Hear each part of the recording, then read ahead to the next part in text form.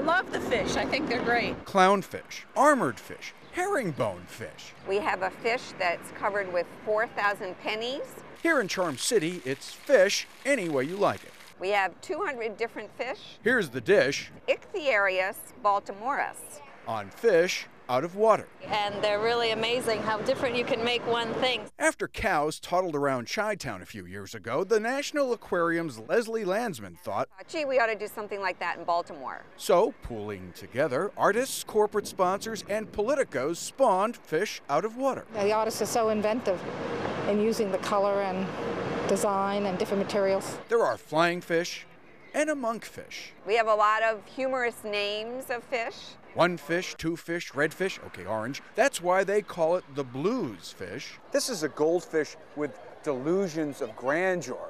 Its name? Sharklark. There's a school of fish, What do you think they're learning in there? All right.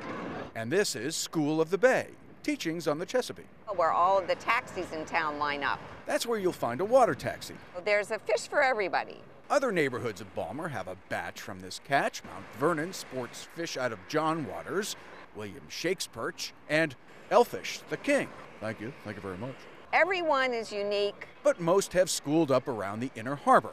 That's where you'll reel in the raven fish and a fish fashioned from fancy silverware. Remember, kids, don't try this at home. No, no. I'd get killed by my dad. We are going to have a Cal Ripken fish. Here's the artist's rendering. It should be out in a couple weeks. Of course, it's to scale. Speaking of which, that's how you play this fish. What's your sign? Pisces. When their school's out in November, each fish will be sold at auction. To raise money for city youth programs. Until then, the city hopes tourists catch them Nice, cute, as you Americans say. and stream on home with tall tales of the fish that they got while away.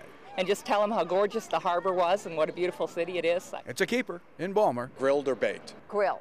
Al Feinberg, Fox 5 News.